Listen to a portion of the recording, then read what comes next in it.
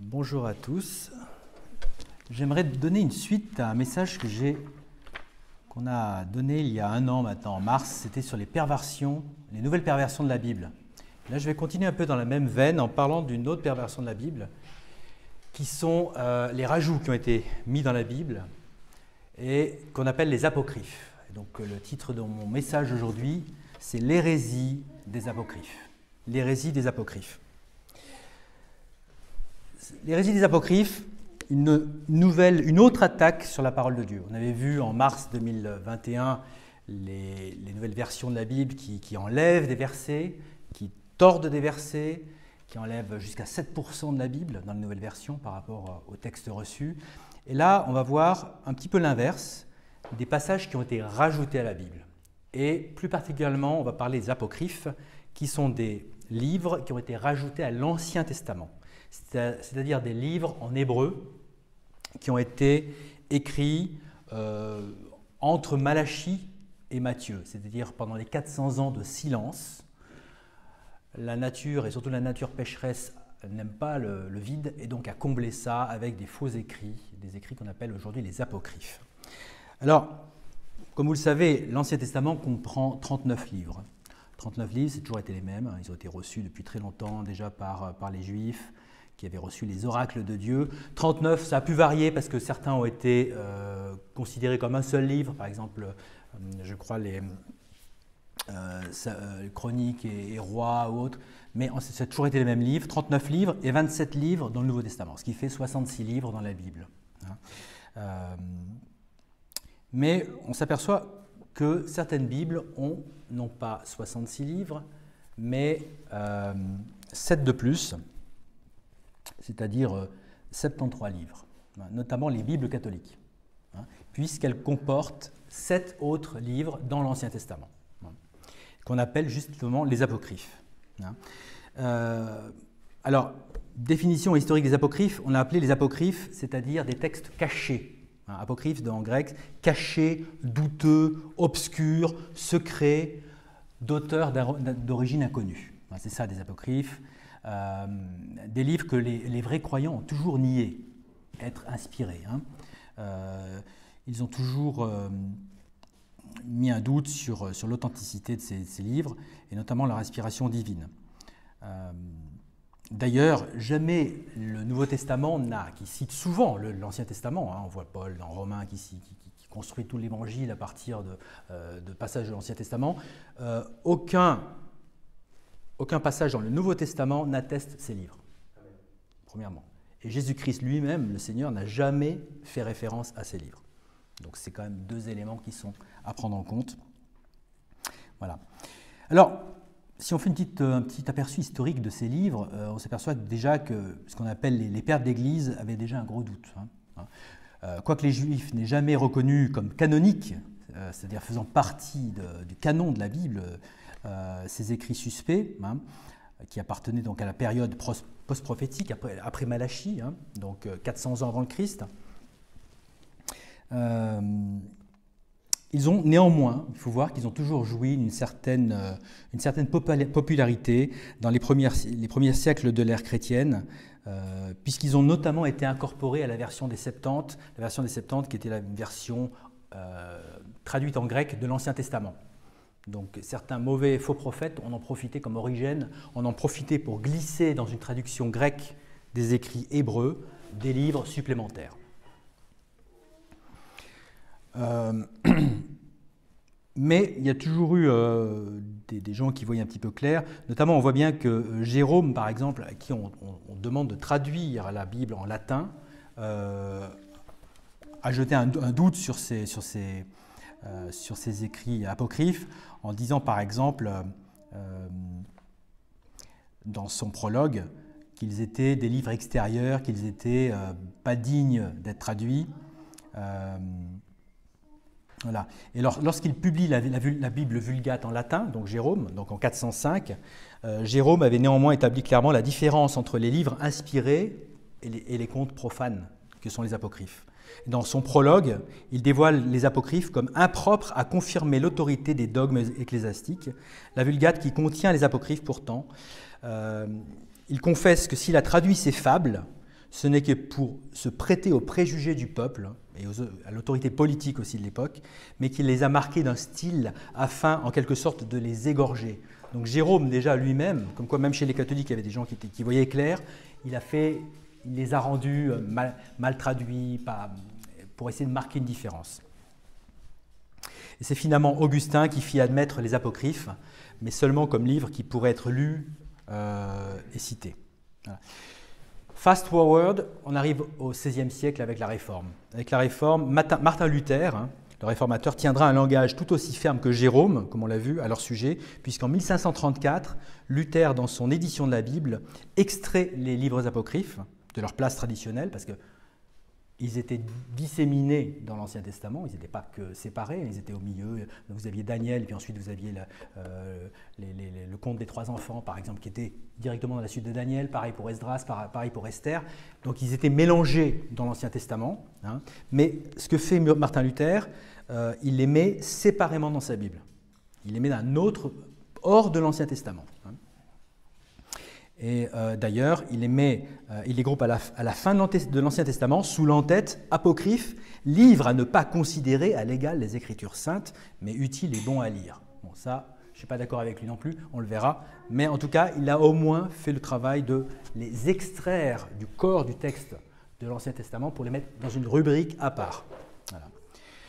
Pour ce qui est de la France, euh, la première Bible en français, c'est la Bible de l'Olivier, par Olivetan. Hein. Pierre Robert Olivetan, premier traducteur de la Bible française euh, euh, à, partir de l'original hébreu et grec, incorpore les apocryphes à sa version en 1535. Donc vous avez la première Bible française.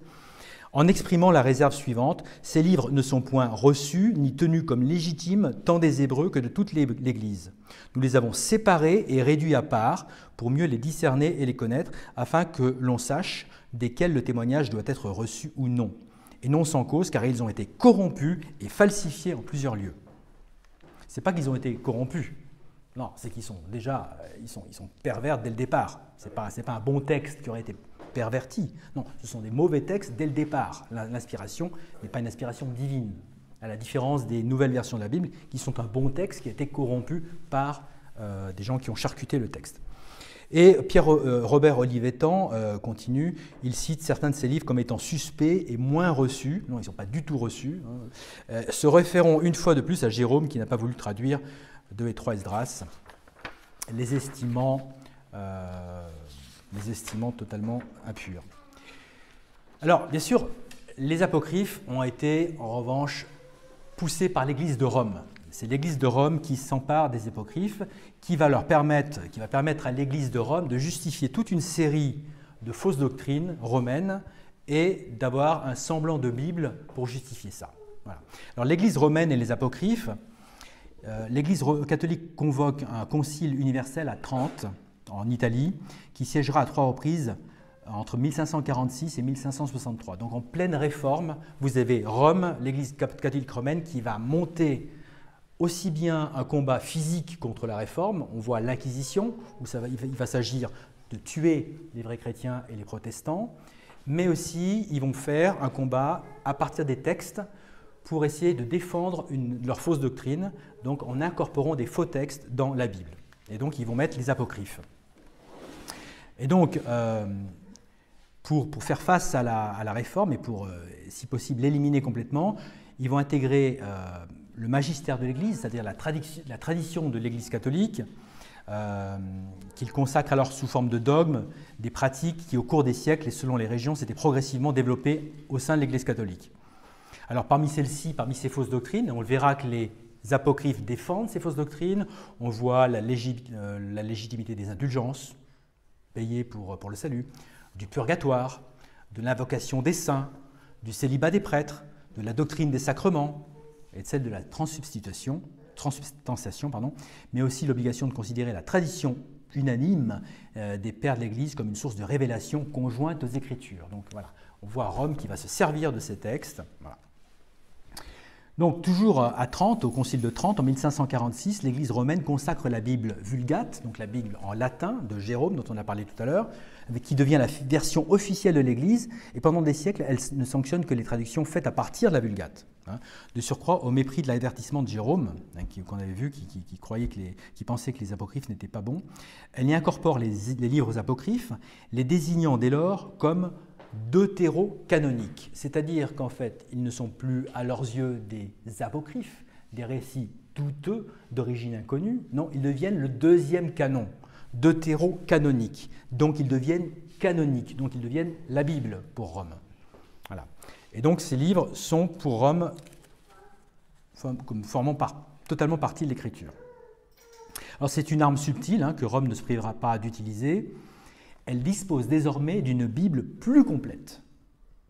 Donc la Bible, la vraie Bible n'est pas, complète, euh, et donc par, conséquent plus crédible que celle des protestants. Hein. Donc en fait c'est la réponse de Rome à la fameuse doctrine protestante de la réforme sola scriptura. Ah, vous dites sola scriptura? Ben, Très bien, voilà sola scriptura, voilà la, Bible, avec tous les apocryphes qui vont dedans, bien sûr, qui sont le deuxième canon. Voilà. Et euh, voilà. Donc, l'Église catholique euh, supprime le prologue de Jérôme qui critiquait les apocryphes. Hein. Euh, elle écarte certains, certains, livres apocryphes toutefois, tels que le troisième et quatrième livre d'Esdras. elle porte les autres apocryphes au bénéfice d'une prétendue inspiration divine. Ils devinrent alors les livres deutéro-canoniques du deuxième canon. Et jusqu'au XXe siècle, hein, jusqu'à la version, par exemple en français, la version catholique Crampon de 1905, toutes les traductions catholiques ont été faites à partir de la Vulgate, euh, ce qui explique euh, que ces traductions catholiques contiennent non pas 39, mais 46 livres dans l'Ancien Testament.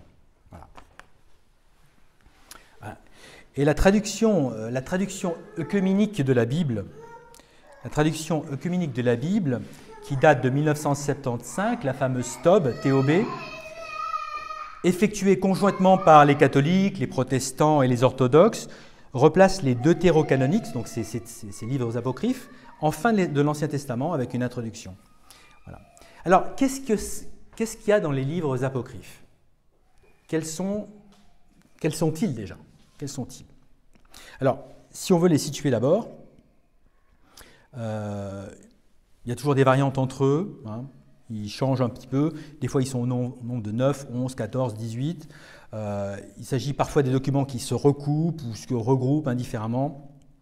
Ils ne sont pas toujours sous la même nomenclature. Mais en tout cas, si on prend aujourd'hui les sept textes apocryphes qu'il y a dans les Bibles catholiques et les Bibles œcuméniques, il y en a sept. Alors, quels sont-ils? Alors, il y a un et deux Maccabées. Les, deux livres des Maccabées, qui sont un récit historique euh, en rapport avec les luttes du peuple juif contre les rois de Syrie. En gros, les luttes qu'il y a eu entre les Juifs pour la libération d'Israël contre les Grecs, qui étaient en, les Séleucides qui étaient en Syrie. Après la chute d'Alexandre le Grand, les Séleucides ont la partie euh, qui est divisée en quatre, l'Empire. Les Séleucides, c'est les Grecs qui sont en Syrie. Et donc, Judas Maccabée va mener une révolte des Juifs pour leur libération contre les Grecs. Et donc les Maccabées, qui sont sans, doute les apocryphes les moins mauvais, en, ce sens que c'est vraiment un livre historique de, cette époque-là. Et là, on parle de 175 à 135 avant Jésus-Christ. Si vous voulez. Voilà. Un et deux Maccabées. Ensuite, vous avez Tobit ou Tobit, qui est très connu. Euh, c'est pas le Hobbit, mais c'est Tobit. C'est la curieuse épopée d'un père aveugle, Tobit, et de son fils Tobi, qui sont conduits par un ange du territoire de Nephtali jusqu'en Médie. Voilà. Donc c'est une histoire totalement rocambolesque, on en parlera un petit peu tout à l'heure, l'histoire de Tobit, où vous avez de la magie noire, blanche, vous avez euh, des trucs incroyables, mais voilà. Ensuite, vous avez le livre de Judith. Le livre de Judith, qui est l'histoire légendaire d'une héroïne nationale juive, s'introduisant dans le camp d'un général assyrien pour lui couper la tête. L'histoire de Judith. Vous avez ensuite le livre de Baruch. Alors Baruch, vous vous souvenez, c'est le, secrétaire de Jérémie. Et souvent, ce que fait le malin, c'est qu'il attribue à une personne bonne, comme Baruch, des écrits. On a par exemple le livre d'Enoch, qui n'a pas été écrit par Enoch. écrit, euh, Enoch n'a pas écrit qu'il y avait des géants de 150 mètres de haut sur Terre. Non. Et c'est ce que dit le livre d'Enoch. Donc le livre de Baruch, c'est pareil. On a attribué à Baruch euh, un livre qu'il n'a pas écrit. Alors, le, livre de Baruch, c'est cinq chapitres qui sont donc attribués au secrétaire de, Jérémie. Ensuite, nous avons un livre qui s'appelle le Siracide ou l'Ecclésiastique. Pas l'Ecclésiaste, mais l'Ecclésiastique. Hein. Euh, L'Ecclésiastique, euh, c'est le reflet d'enseignement d'une école de sagesse dispensée à Jérusalem au IVe siècle avant Jésus-Christ. C'est en fait une pâle imitation des proverbes. Donc vous avez des phrases comme, les proverbes, des aphorismes, qui, euh, euh, qui sont une imitation des proverbes, des faux proverbes. Nous avons ensuite le, le livre de la sagesse. Nous avons ensuite une suite au livre de Daniel qu'on appelle le cantique des trois enfants ou des trois jeunes gens, c'est-à-dire Shadrach, Meshach et Abednego, hein, les compagnons de Daniel, un cantique généralement incorporé au troisième chapitre de Daniel dans la fournaise. Et là, on raconte n'importe quoi, comme quoi il y avait des, endroits moins chauds dans la fournaise, c'est pour ça qu'ils en sont sortis. Enfin. Ensuite, nous avons l'histoire de Suzanne. Alors, l'histoire de Suzanne est présentée en général sous forme d'un chapitre supplémentaire au livre de Daniel, toujours. Nous avons l'histoire de Belle et le dragon. Belle et le dragon qui figure généralement dans un chapitre supplémentaire au livre de Daniel. il y a eu beaucoup de rajouts au livre de Daniel. Nous avons la prière de Manassé, qui est une œuvre lyrique de 15 versets, inspirée par 2 Chroniques 33-12, généralement incorporée à un Esdras. Nous avons la lettre de Jérémie, qui est un message destiné aux captifs de Babylone et abusivement attribué à Jérémie, un petit peu comme on avait attribué abusivement le livre de Baruch à Baruch, publié dans certaines éditions, après les lamentations de Jérémie.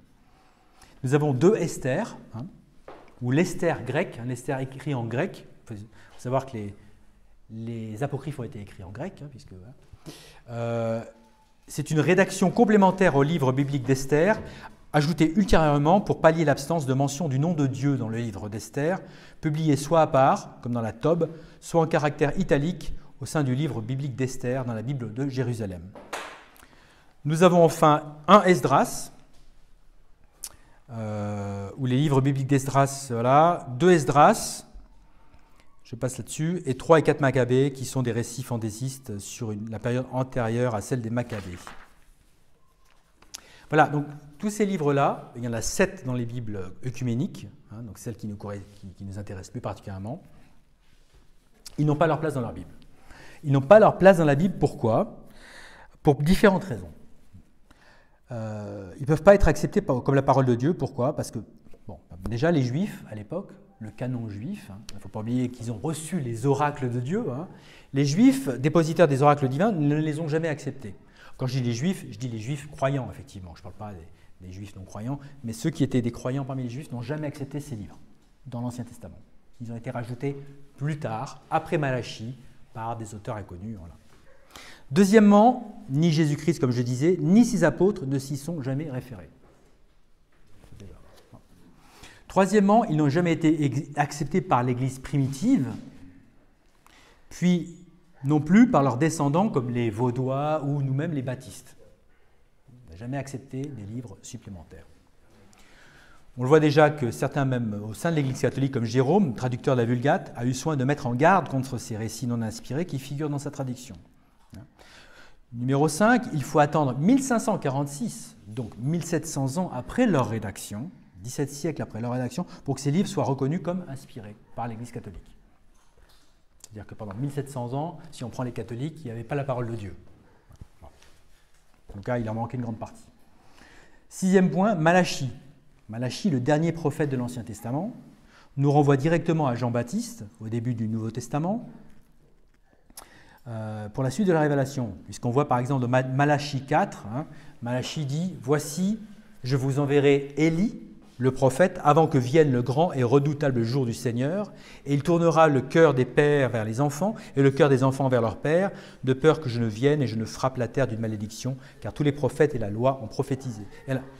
Et alors ensuite, Malachie, je vous envoie donc Élie, et on voit Élie qui arrive dans Matthieu, dans Matthieu, euh, Matthieu 4 par exemple, au verset 13, car tous les prophètes et la loi en prophétisait jusqu'à Jean, dit Jésus.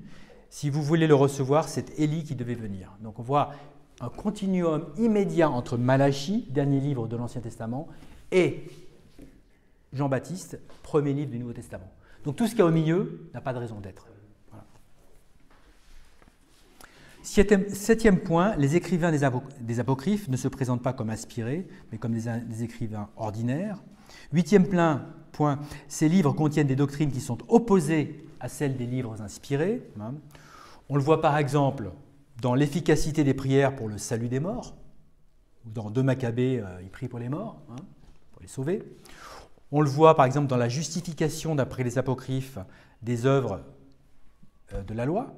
On est justifié par la loi, hein, au lieu de la foi, contrairement à ce que dit Galates 2.16, etc., où le juste vivra par sa foi, etc. On le voit aussi la fausse doctrine de la perfection sans péché, hein, qu'on revoit aujourd'hui dans certains mouvements pentecôtistes, euh, ce qu'on appelle sinless perfection, le fait de ne plus pécher lorsqu'on est soi-disant un chrétien. Et eh bien ça, on l'a dans les apocryphes. On voit aussi dans les apocryphes que le suicide est justifié et raconté avec des, détails fabuleux, hein, dans 2 Maccabée 14, contrairement à ce que dit Exode, tu ne tueras pas, etc. Neuvième point, ces livres contiennent des fables et des faits contraires au sobre bon sens. On le verra plus, tard. Dixième point, ces livres contiennent de très nombreuses contradictions historiques. Par exemple, on y voit que Alexandre le Grand partage de son vivant son royaume à ses généraux, alors qu'il faut attendre sa mort pour que les quatre généraux se le disputent. On le voit par exemple euh, que le roi Antioche Épiphane, le roi grec Séleucide, euh, meurt de trois manières différentes dans les Maccabées, il faut savoir. On voit aussi que Daniel est une nuit dans la fosse au lion, ou six jours d'après le... Daniel passe une nuit dans la fosse au lion dans la, Bible, mais que dans, euh, le, supplément grec de Daniel des, Apocryphes, il y passe six jours. Il y a des erreurs comme ça. Euh, et puis plus, plus marrant, Mardoché, donc dans Esther, est présenté comme ayant été transporté à Babylone par Nabuchodonosor, hein, euh, ce qui implique que sa cousine Esther avait environ 100 ans quand elle fut sélectionnée comme la plus belle jeune fille du royaume. Parce que comme il y a 70 ans entre la départation, plus de 70 ans entre la départation et puis Esther, euh, il, y a, un petit problème de date quand même. Donc, euh, les fausses doctrines et les contradictions contenues dans les livres apocryphes prouvent à l'évidence que ces livres ne peuvent être le langage de l'esprit de vérité, à savoir même la parole de Dieu. Hein. Une personne sauvée d'ailleurs, et vous, si vous vous amusez à vous faire la torture de lire quelques apocryphes, ce que j'ai essayé de faire, mais ça n'a pas duré très longtemps, je vous en lirai un petit passage tout à l'heure. Euh, voilà, euh, l'Esprit Saint vous montre tout de suite qu'il y a un problème, que ce n'est pas du tout inspiré, qu'il y, a, au-delà de toutes ces contradictions internes aux apocryphes, au-delà de, toutes les, bêtises qu'il y a dedans, on sent qu'il y a quelque chose qui ne joue pas. Il n'y a aucune puissance, il n'y a rien. Alors vous me direz, vous qui êtes des défenseurs du texte inspiré et du texte reçu, et notamment de la King James, nous sommes des défenseurs de la King James, nous pensons que la King James est parmi toutes les Bibles que nous connaissons la seule vraie pure, on n'en connaît pas d'autres. Bien sûr, il y a d'autres livres euh, qui sont du texte reçu, mais la, King James fait foi. Euh, pourquoi alors la King James, dans sa première édition, celle de 1611, pourquoi est-ce que la King James a intégré les apocryphes? Pourquoi est-ce que les apocryphes sont dans la King James? Il y a sept apocryphes hein, dans la, King James. Hein. Il y a Tobit, Judith, 1 et 2 Maccabée, la sagesse, le Sirach, ou l'ecclésiastique, et Baruch. C'est les sept apocryphes qu'il y a dans la King James. Alors, il faut déjà savoir qu'à l'époque, ils ont été rejetés par plusieurs traducteurs. Et on le voit, d'abord, ils refusent d'en parler, le traducteur refuse d'en parler dans la préface, premièrement. Euh, ils disent que ce n'est pas dans le canon, ils disent que ce n'est pas inspiré. Et ce qu'il faut savoir dans la King James, si vous prenez, moi j'ai un, un facsimilé de la, de la 1611, un pavé comme ça, j'ai voulu l'amener, mais il pèse 13 kilos, donc ça faisait beaucoup. Euh, les apocryphes, les sept apocryphes dans la King James sont séparés du reste du, du texte biblique. Vous avez l'Ancien Testament, vous avez le Nouveau Testament et au milieu, vous avez écarté par plusieurs pages et avec à chaque page en haut un warning. Il y, a, un warning qui est marqué apocrypha en gros. C'est marrant parce que même à l'époque, le font, c'est le maximum font. C'est du Times New Roman 54. Euh, en gros, sur chaque page des apocryphes, il y a marqué apocrypha, apocrypha, apocrypha. les, les, traducteurs n'avaient pas envie de le mettre, on sent qu'il y. Mais ils ont été obligés de le mettre par tradition. Il faut savoir qu'à l'époque de la King James, la King James vous avez une tradition anglicane qui vient du catholicisme et, l'émergence des puritains et des, vrais chrétiens. Et vous avez une église qui est nationale.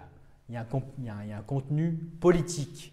La religion fait partie de la politique. Le roi est le roi de l'église d'Angleterre, il est le chef de l'église d'Angleterre. King James lui-même, dans son, dans son ouvrage euh, dans un de ses ouvrages, dont je ne me souviens plus du titre, dit carrément Je ne suis pas papiste et je ne reconnais pas ces, apocryphes. Mais il est obligé de, tergiverser pour ne pas créer un. Parce que le but de la King James, c'est aussi de pacifier le pays. Il ne faut pas oublier ça. Il y avait aussi cette notion pour King James de, réunir les puritains et l'Église d'Angleterre pour maintenir le pays. Donc, euh, mais, quand même, il a, il a, veillé à ce que les apocryphes soient clairement identifiés dans la Bible comme n'étant pas inspirés, avec un warning au-dessus de chaque page. Et à la différence, par exemple, du Nouveau Testament ou de l'Ancien Testament, dans la King James, vous avez à chaque fois un petit résumé du passage de la, de la, page en question. Pour les apocryphes, il n'y a même pas ce résumé. Donc ils ne se sont même pas donné la peine de faire un résumé de chaque page. Il n'y a aucune note, et même les traducteurs, on l'a su après, les traducteurs se sont donné beaucoup moins de mal pour traduire ces textes qu'ils n'ont fait, n'ont fait de diligence à traduire le vrai texte de la Bible. Ça a été vraiment parce qu'il faut le faire euh, comme ça pour des raisons voilà, politiques à l'époque. Euh,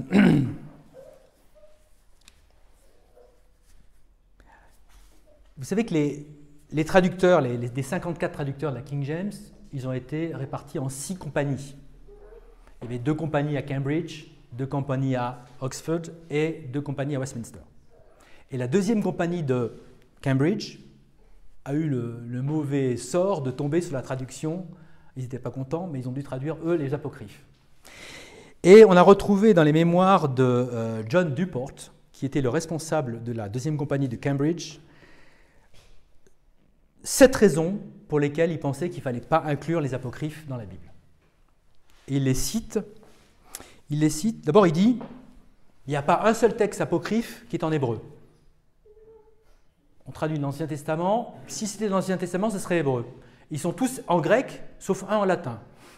On n'aime pas. C'est-à-dire qu'ils n'ont pas été connus par les Hébreux, etc. Ensuite, il dit il n'y a aucune affirmation d'inspiration dans aucun des apocryphes. C'est pas comme euh, dans Jérémie, et les euh, fils de l'homme va parler, dans Ézéchiel, voilà, euh, parle au nom du Seigneur, etc. Ainsi dit le Seigneur. Non, il n'y a jamais ça. Ils ne sont pas allés jusqu'à dans, la perversion jusque-là. Peut-être que Dieu ne l'a pas permis. Donc ils n'ont jamais été reconnus comme sacrés par les Juifs et jamais cités par Jésus-Christ ou les apôtres. Ça c'est le troisième point. Ils n'ont pas été reconnus avant le IVe siècle de notre ère. C'est-à-dire qu'ils ont mis, s'ils ont été écrits vers l'an 400, 300 avant Jésus-Christ, il faut attendre l'an 400 après Jésus-Christ pour qu'ils soient reconnus par l'Église de Rome. 700 ans. Hein. Ils sont pleins de déclarations totalement fabuleuses, fantasmagoriques, totalement folles. Ils sont pleins de doctrines non bibliques. Et enfin, ils font montre de pratiques immorales, voire de péchés, comme le mensonge, le suicide, l'assassinat, la magie. Voilà. Voilà un exemple de magie, Toby. Dans Toby, un exemple de magie blanche. Alors, Toby 6, verset 7. Le garçon interrogea alors l'ange. Azarias, mon frère, le cœur, le foie et le fiel du poisson, en quoi sont-ils un remède? L'ange lui répondit Si tu fais brûler le cœur et le foie du poisson devant un homme ou une femme attaqué par un démon, ou un esprit mauvais, l'agresseur s'enfuit au loin et ses victimes en seront délivrées pour toujours. Donc l'exorcisme par le poisson. Quant au fiel du poisson, si tu l'appliques sur les yeux d'un homme atteint de leucome et si tu souffles dessus, les yeux seront guéris. Donc vous avez l'exorcisme et la magie blanche. Voilà, un exemple de, folie donné par un faux, un faux ange dans un faux bouquin Toby. Alors, le protestantisme moderne, euh, ce qu'il faut savoir, comme ce que je disais pour la King James, la plupart des, incunables bibliques, c'est-à-dire jusqu'au XVe siècle, ou des saintes écritures imprimées à partir de, l'impression, à partir du XVIe siècle, euh, incorporent les apocryphes. Hein. C'est qu'à partir du XVIIe siècle qu'on trouve des Bibles sans apocryphes. Euh, par exemple, en 1648, la Confession de Westminster publie une déclaration sans ambiguïté à leur sujet. Les appelés apocryphes ne sont pas divinement inspirés. Ils ne font pas partie du canon des Écritures, n'ont donc aucune autorité dans l'Église de Dieu. Il ne faut pas les considérer autrement que n'importe quel écrit humain. Alors que les apocryphes font de plus en plus figure de légende ou de littérature hétéroclite, la connaissance des textes sacrés s'approfondit, Et c'est pour ça que même en 1825, la Société biblique britannique et étrangère décide d'exclure à jamais ces, livres de ses propres éditions, de ne plus subventionner les impressions avec apocryphes. Dans d'autres pays, elle introduit même dans ses statuts un amendement lui faisant interdiction express. Vous voyez, il y a eu un... Il y a eu un ça n'a pas été d'un coup. Il a fallu attendre le milieu du XVIIe siècle, voire même le début du XIXe siècle, pour qu'on les enlève totalement des Bibles protestantes euh, évangélique et, baptiste. Enfin, baptiste, je crois, que les baptistes n'en ont jamais eu. On le voit par exemple euh, en Angleterre. Euh, je vous parlais de la, version de l'Olivetan en France, 1535. À ce moment-là, vous avez la Coverdale en Angleterre, qui vient de la version de Tyndale. Et justement, déjà dès la Coverdale, les apocryphes sont poussés à la fin du bouquin. Ils ne sont pas dans le corps de la Bible. Euh, Pourquoi est-ce qu'ils ont gardé aussi des apocryphes? Je pense que dans la mesure où il y avait un débat théologique au XVIIe siècle très fort, voire, plus des guerres, hein, tout simplement, entre protestants et catholiques, je pense que c'était un moyen d'équiper les pasteurs protestants d'une connaissance pour pouvoir rétorquer aux catholiques. Je pense qu'il y avait aussi une volonté de laisser ces textes même si on savait qu'ils n'étaient pas inspirés, à disposition pour pouvoir lutter et exposer les fausses doctrines. Il y avait peut-être aussi le fait que, euh, vu que beaucoup de ces apocryphes, on les retrouve dans le Talmud, hein, par exemple les Maccabées et le, Siracide, on les trouve dans le Talmud, peut-être que certains euh, chrétiens ont pensé que pour mieux connaître, la, comprendre la, culture juive, peut-être qu'il fallait les garder aussi en, non pas en inspiration divine ou pour la doctrine, mais pour la connaissance, tout simplement, dans le dialogue et dans l'évangélisation ou autre. Il ne faut pas oublier de toute façon que les ajouts dans la Bible, les ajouts dans la vraie Bible, ça a continué bien après. La Bible Scofield, c'est quoi? La Bible Scofield, c'est une bonne Bible, c'est la King James qui est truffée de fausses notes. Donc vous pouvez avoir une bonne Bible pas une perversion des nouvelles versions, mais une bonne Bible avec des notes en bas de page ou des notes en supplément qui, disent n'importe quoi, qui, vont contre la doctrine biblique. Donc ce n'est pas nouveau. Les apocryphes, on les retrouve dans Scofield. Scofield est un apocryphe. C'est tout. Alors, quels sont les exemples de fausses doctrines des apocryphes? On l'a vu tout à l'heure avec la magie blanche et puis l'exorcisme, mais euh, beaucoup de ces textes apocryphes cautionnent les doctrines catholiques. Hein. Par exemple, les aumônes et le trafic des indulgences. Saint-Pierre à Rome a été construit avec des indulgences, hein, avec des aumônes. Et puis la, doctrine catholique promettait le ciel si on payait, y compris pour ceux qui sont déjà en enfer, les faire sortir. Alors, les aumônes et le trafic des indulgences, Tobie, par exemple, Tobie 4, dit l'aumône délivre de la mort et empêche d'aller dans les ténèbres. Ou l'aumône délivre de la mort et elle purifie de tout péché. Non, c'est le sang du Christ qui nous purifie de tout péché. L'aumône, elle ne sert à rien pour ça. Ou alors, l'aumône efface les péchés, dans Siracide 3. Non, c'est le sang du Christ qui efface les péchés. Les apocryphes aussi promeuvent le salut par les œuvres.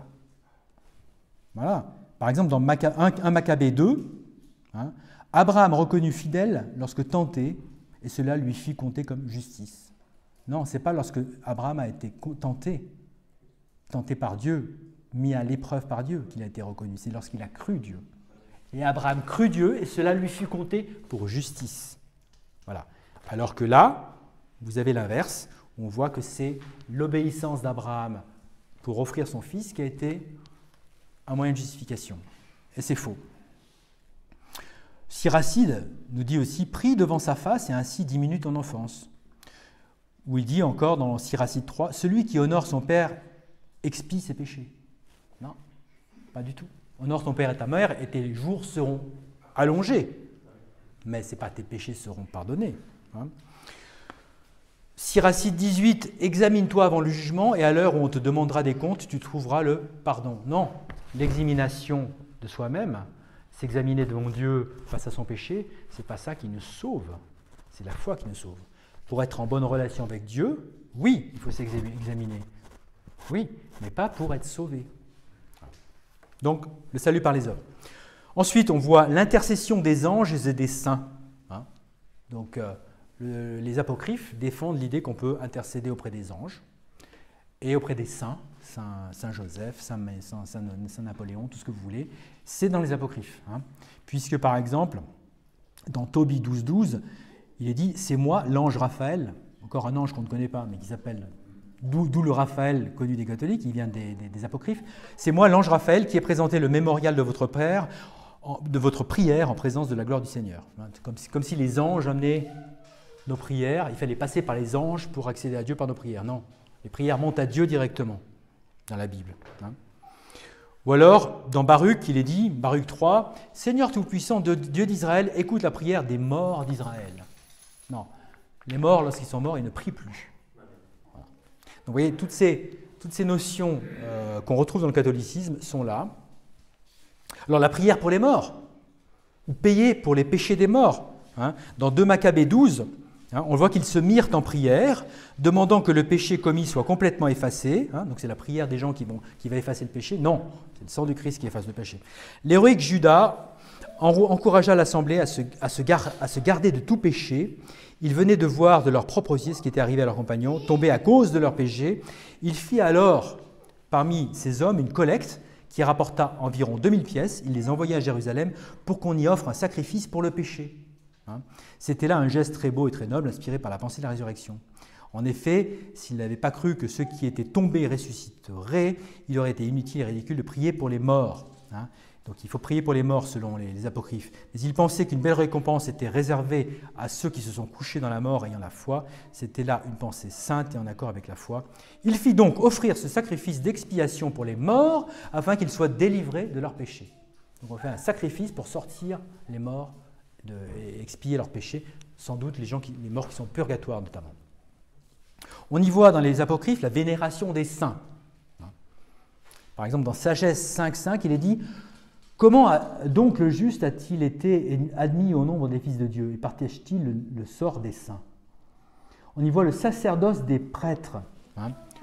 Euh, il est dit De toute ton âme, révère le Seigneur et vénère ses prêtres, hein, dans Siracide 7. Euh, ou dans Siracide 33, il est dit Le Seigneur, dans sa grande sagesse, a béni et exalté certains d'entre eux, des hommes, il a consacré certains autres et se les est attachés, donc les prêtres. Les apocryphes défendent le célibat des, prêtres. Des prêtres. Euh, quand, Paul dit que, euh, quand, l'Écriture dit qu'un pasteur doit être, qui n'est pas un prêtre d'ailleurs, un pasteur n'est pas un prêtre, mais que, que, pour être un homme de Dieu, il faut être marié euh, notamment, eh ben, l'Église catholique dit le contraire, puisque euh, la sagesse, sagesse 4, dans les Apocryphes, dit Mieux vaut ne pas avoir d'enfant et posséder la vertu qui laisse un souvenir riche d'immortalité, car elle est approuvée par Dieu et par les hommes. Donc mieux vaut ne pas avoir d'enfant. Les indulgences, hein, Tobie 12.9, on l'a vu tout à l'heure déjà.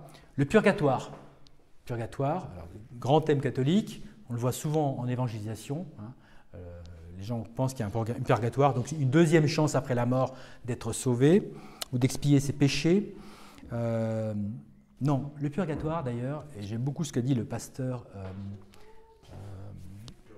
Jones récemment, il a dit le purgatoire. Le purgatoire, ce n'est pas un endroit, le purgatoire, c'est une personne. Parce que c'est Jésus qui nous purge de tout péché.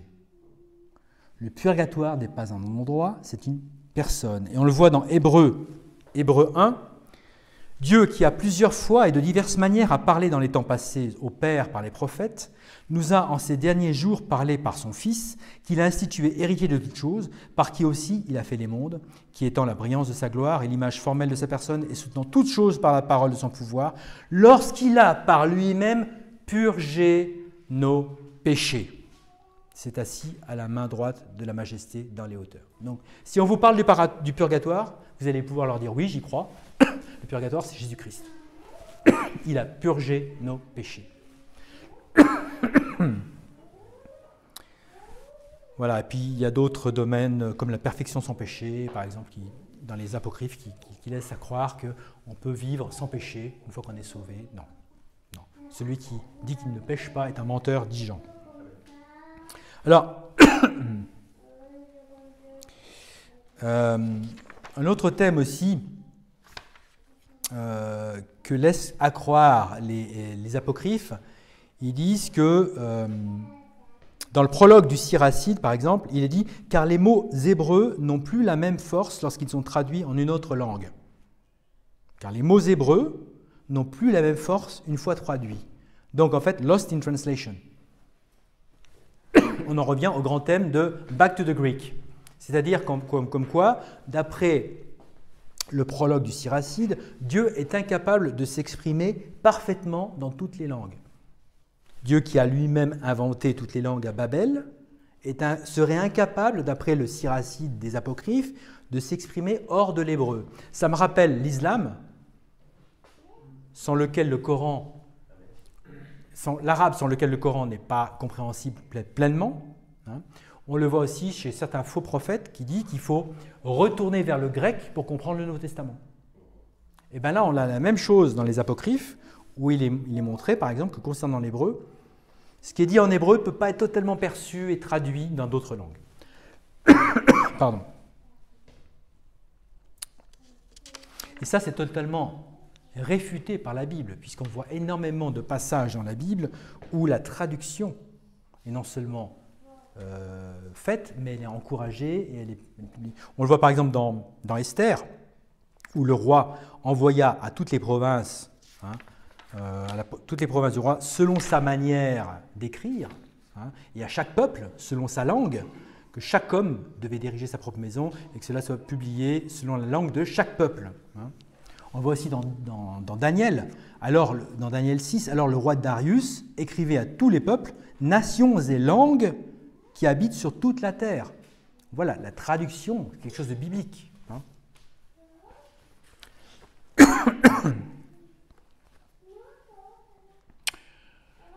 Alors, il y a d'autres erreurs dans les, apocryphes, par exemple. Euh, dans les apocryphes, dans, Judith, dans Judith euh, Nebuchadnezzar n'est pas le roi de Babylone, il est le roi de l'Assyrie. Donc les apocryphes ne connaissent pas la géopolitique. Hein. Euh, dans Judith 1.1, il est dit Tout ceci arriva à la douzième année du, règne de Nabuchodonosor sur les Assyriens à Ninive. Or, or, la Bible dit clairement que Nabuchodonosor, c'est le roi de Babylone, puisque dans Jérémie 50, il est dit, au verset 17, Israël est un, mouton éparpillé, les lions l'ont chassé. Tout d'abord, le roi d'Assyrie l'a dévoré, et en dernier, Nabuchodonosor, le roi de Babylone, a brisé ses os. Donc il y a deux personnes. Il y a le roi d'Assyrie qui enlève les dix premières tribus, et ensuite vous avez Nabuchodonosor qui vient chercher les deux dernières tribus. Donc Nabuchodonosor n'est pas le roi d'Assyrie, contrairement à ce que dit Judith. Il ne faut jamais écouter les femmes en doctrine. Euh, je continue, mais il n'y a pas que les femmes, la, majorité sont des hommes. Oui, euh, les, apocryphes ne connaissent pas la géographie, la géographie, ils ne connaissent pas non plus l'histoire. Les apocryphes ne connaissent rien à l'histoire. Pourquoi? Parce que dans Baruch, pourtant Baruch devrait, si c'était le vrai Baruch, il, saurait les choses, parce qu'il a lu Jérémie Baruch. Baruch, c'est lui qui a écrit Jérémie. Il, devrait, savoir. Donc Baruch, Baruch 6.2, dans les, dans les apocryphes, il est dit Une fois arrivé à Babylone, en parlant des Juifs, vous y resterez de nombreuses années, le temps de sept générations, sept générations, mais après cela, je vous ferai revenir sans dommage. Non. Ça, c'est le faux Baruch. Il le prouve, puisque le vrai Baruch, c'est très bien, parce qu'il l'a écrit dans Jérémie 25, au verset 11. en disant Et ce pays entier sera une désolation et un étonnement, et ces nations serviront le roi de Babylone pendant 70 ans. Le faux Baruch dit 70 générations, le vrai Baruch dit 70 ans. Une, une variation de 30 fois à peu près. Donc, les apocryphes ne savent pas compter, ils ne connaissent pas l'histoire. Je passe sur le fait que des erreurs de logique, par exemple, les, apocryphes disent que la création par Dieu a été faite à partir d'une matière, préexistante. Par exemple, eu donc, ça laisse à penser ensuite à, euh, à, un monde pré-adamique, euh, la gap theory, on peut tout imaginer, voilà. qu'on n'est pas la première création. Ça, c'est les, apocryphes. Hein. Il y a aussi des côtés comiques. Euh, dans les apocryphes, par exemple, comme quoi il y aurait eu un, coin tempéré, climatisé dans la fournaise, où les trois jeunes Hébreux auraient pu se réfugier le temps pour ne pas mourir. Non, la Bible dit, et il vit dans la flamme, les trois Hébreux. Et le quatrième était semblable au Fils de l'homme, parce que Jésus, c'est Jésus qui était venu qui était venu les conforter dans la flamme. Il n'y avait pas, il avait pas un, lieu tempéré dans la, fournaise. Euh, voilà. Dans, l'histoire d'Esther, il y a, Esther, quand elle vient voir le, roi, elle s'évanouit, et puis il vient vers elle. Oh, ma, pauvre chérie, que puis-je pour toi? Non, c'est pas du tout. Elle y va tremblante voir le roi. Hein. Euh, Amant euh, serait un, agent secret pour les Macédoniens, pour les Grecs donc, alors qu'il est à la cour, il est à la cour du roi de, Perse, et puis le, enfin, plein, plein d'histoires comme ça. Alors, pourquoi les apocryphes? Je pense que à quoi servent les apocryphes aujourd'hui? Je pense qu'ils servent à l'œcuménisme. L'Église catholique essaye de rassembler tous les chrétiens sous son aile de corbeau. Euh, elle essaye, essaye de, réunir tous les chrétiens par différents moyens. On le voit par le charismatisme, on voit pas. Mais les écrits bibliques et euh, notamment les apocryphes sont un moyen pour l'Église de Rome de rassembler. Et c'est pour ça, comme, chacun le sait, l'œcuménisme cherche à renverser toutes les barrières ecclésiastiques dans l'intention de rapprocher les grandes confessions chrétiennes. Et c'est pour ça qu'ils ont mis, euh, il y a eu la parution en 1975 de la Bible française Tob. Je ne sais pas si vous la connaissez, la traduction œcuménique de la Bible. Puis en 1983 aussi en Italie, euh, qui réintègre les apocryphes dans le texte biblique. Ça permet de faire des, des, des, des Bibles consensuelles et des Bibles euh, euh, œcuméniques. Euh, voilà, donc ça permet de. On voit aussi dans la, Bible en français courant, qui est assez, assez connue. La, Bible en français courant intègre les, les, les apocryphes.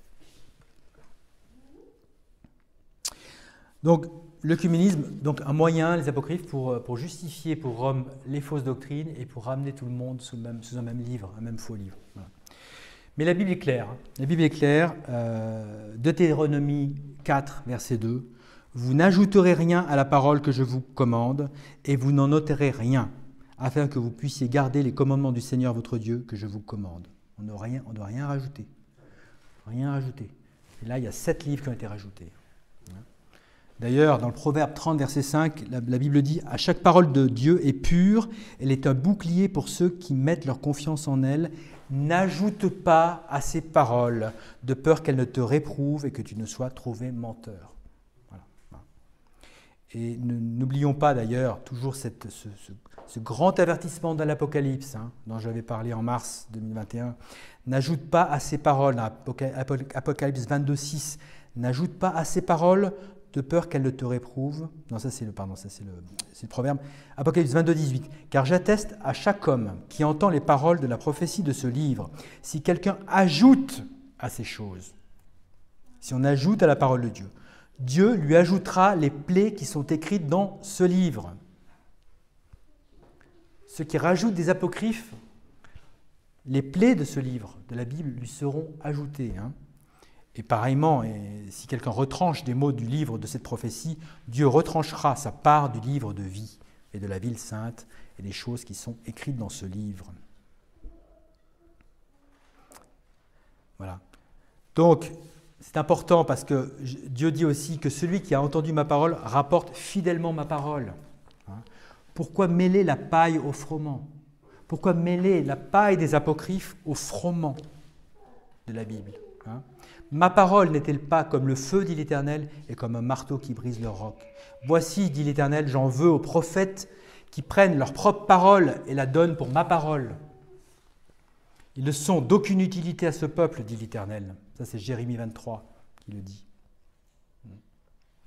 Et Pierre insiste, et nous tenons pour d'autant plus certaine la parole prophétique à laquelle vous faites bien de prêter attention, comme à une lampe qui brille dans un lieu obscur jusqu'à ce que le jour vienne apparaître et que l'étoile du matin se lève dans vos cœurs.